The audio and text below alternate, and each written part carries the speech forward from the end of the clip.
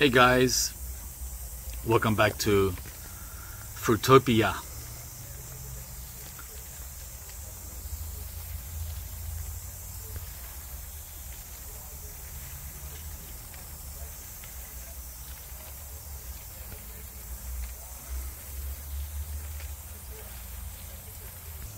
I haven't needed to water um, the garden all summer until February came round.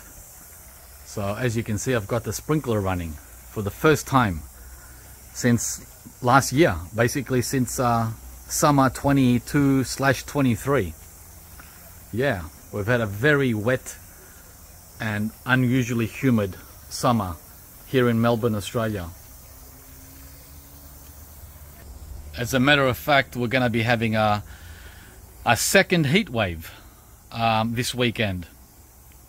We had a mini heat wave last weekend, and now we're going to have a three or four day heat wave. So I'm getting everything soaked and um, moist.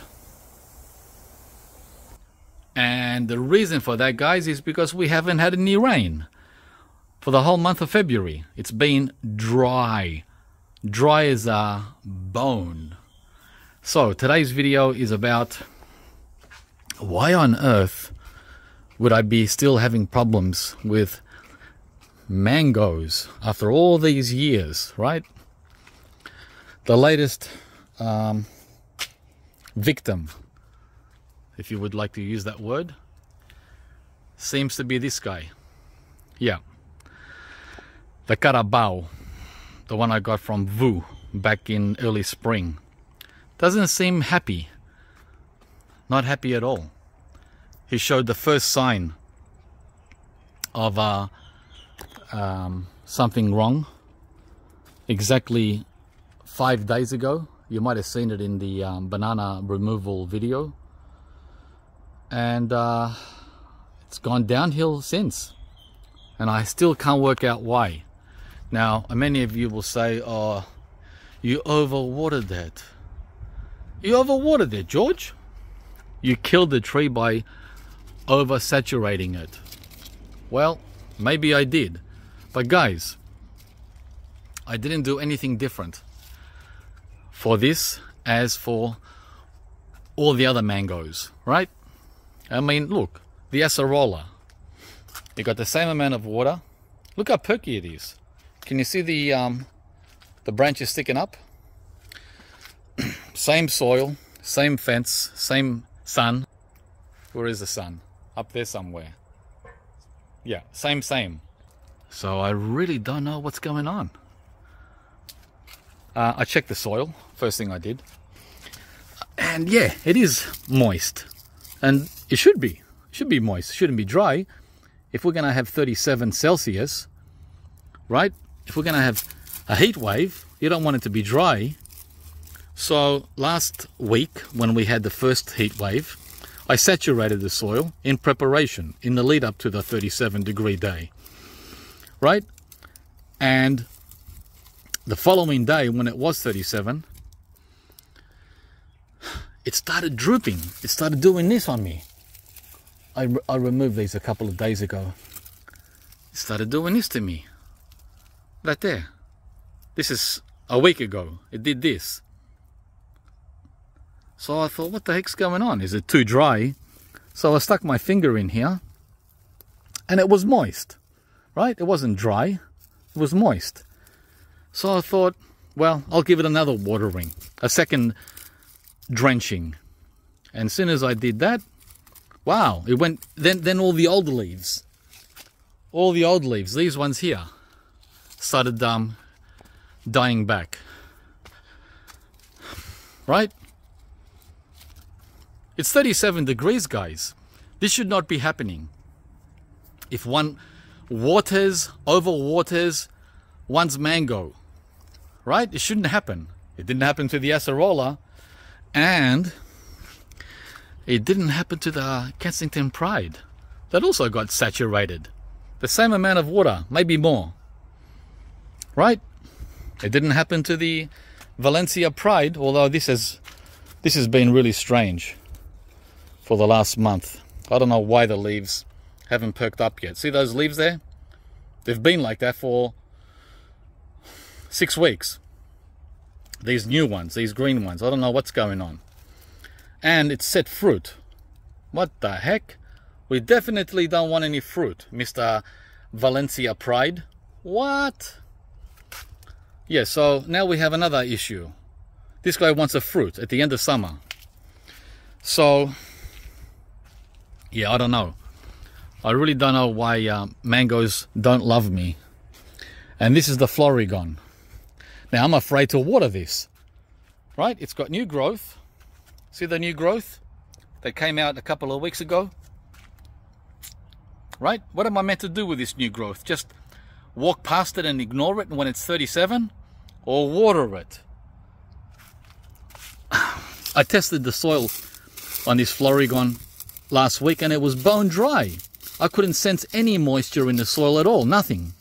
So I penetrated it with a hose and I saturated it. I saturated the, the ground. That was like uh, five days ago. And thankfully, it hasn't gone backwards. So the same saturation I gave to the Florigon, the Kensington Pride, the Valencia Pride, I gave to the Carabao guys, the Manila mango. And they said, nope, I'm not taking any of that saturation. It, it just boils down to bad luck. Because I did everything else right, right? Full sun. And by the way, I never watered it at all during um, January when we had uh, all that rain. So you guys tell me what else could be wrong. Other than you know mangoes don't love me. Oh they don't love me guys. So now I'm afraid to water anything. Um, known as mango like this new guy that I planted right? I've been watering him every single day since he was planted a week ago. He's been in the ground now for um, seven days no, sorry, he's been in the ground 10 days. This uh, KP um, seedling. Why do I ignore him? Do I just leave him there in dry in dry in dry soil? This is where the abu was. You know the second abu that that um, went to heaven. Of course I'm gonna water him. Of course I'm gonna water these guys. I'm gonna saturate it. Actually, I'm not. I'm not just. I'm just. I'm not gonna just water it. I'm gonna water it till the water is running away. That's how it, that's how it works with every other tree. So why do mangoes give up on me when I water them? Anyone know? And by the way, I'm talking about midsummer with 100 Fahrenheit temperatures, not in wintertime. It's not winter, guys. It's midsummer. The same with this soursop. I saturated it twice this week until the water was flowing downstream. So why isn't he? Why isn't he giving up the ghost or any of these sooks? I watered the Mamey. I watered the um, uh, what's he, what's his name? Sapodilla. I don't water him too much. I've heard that Sapodilla doesn't like much uh, water. Uh, and I watered the Canistel, right? Look how happy he is. And the lychee. Everything got saturated. But there's only one casualty, and it's the Manila mango. Mmm. I even saturated this new lychee, which went in the ground around the same time as the Manila mango. It's got a lot of new growth, just like the Carabao had. You know that new growth I showed you, and it turned black. So, yeah. So I'm very disappointed, to say the least. I actually have the blues, guys. I have the mango blues. I feel like I want to write a song. Anyone out there good at songwriting? Yeah, I saturated the black sapote. If I put my finger in the dirt, it's mud. So why isn't this muddy black sapote um, getting dieback? You know why? Because it's the middle of summer, that's why. How on earth would he die back? No matter how much water I give him. If it's blazing hot without any rain, not a drop. It's not Brisbane, guys. Check out Brisbane. It's been raining there day and night. Wow, not here. So that's the video. I just wanted to be uh, upfront and um, share everything, guys. The good, the bad, and the ugly. And that's the um, the ugly. Well, the bad and the ugly. Nothing good here. Nothing good at all. Well, there might be something good. I don't know. Seems to be trying to do something here. I don't know what that is there. Trying to come with new growth. That's been there for a week. That's been like that before, before the dieback. And, where else? At the top here, seems to be something going on. But again, it's been there for over a week. I don't know if that, anything will come with that. And that. All right, yeah, that there. I don't know if anything will come with that either. So, and there's all these, uh, yeah, no, even even even the, the even the stems aren't looking good. See how they've got lines on them? Hang on.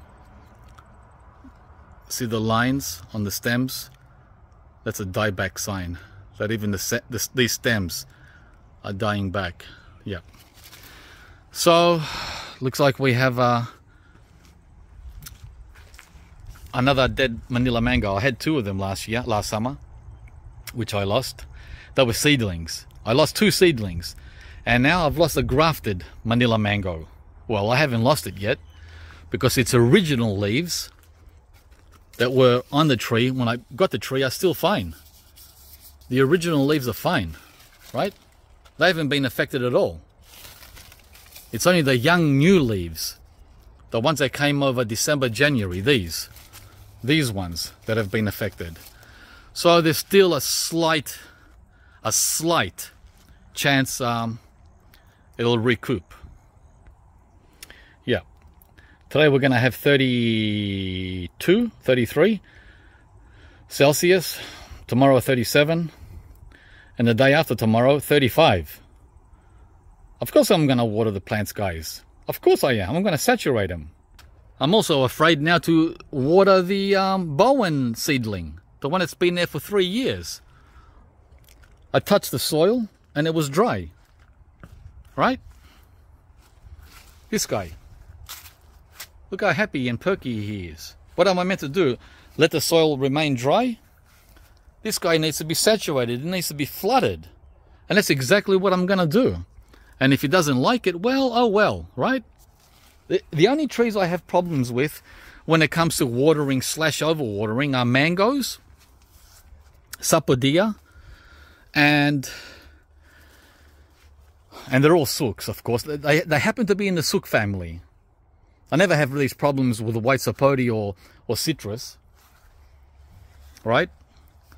Um, the other the other sook that doesn't like to be overwatered is the lychee. Yeah. All right, guys. That's the video. So yeah, please share your um, opinion of what could have gone wrong. And by the way, I haven't given any fertilizer to any of these trees at all. Just a little compost. Right? That's it. No no strange brews or anything um, strong. Nothing. Okay. Please uh, like the video, subscribe to the channel, and we'll see you from the next one. Bye, guys.